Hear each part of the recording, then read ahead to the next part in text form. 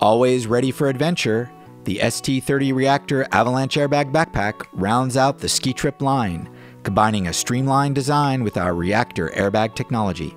Just as comfortable on an extreme freeride adventure as on a mellow backcountry tour, this pack's many features will amaze you.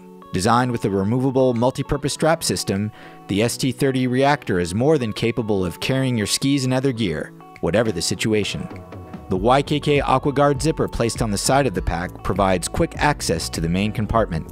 Stow your shovel and probe in a separate closed compartment to keep them out of the way most of the time and for split-second access in an emergency situation.